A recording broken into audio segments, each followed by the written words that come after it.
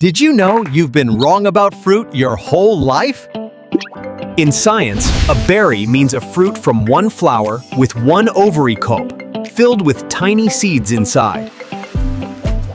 That's why bananas fit the rule. They grow from one flower and have seeds inside.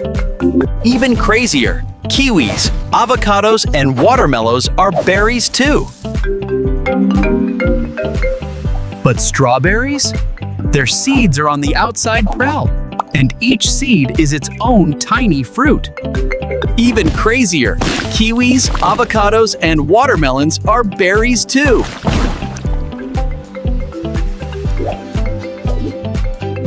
So next time you grab a banana, remember said, science says you're eating a berry. Mind sparked? Hit subscribe for more bite-sized facts.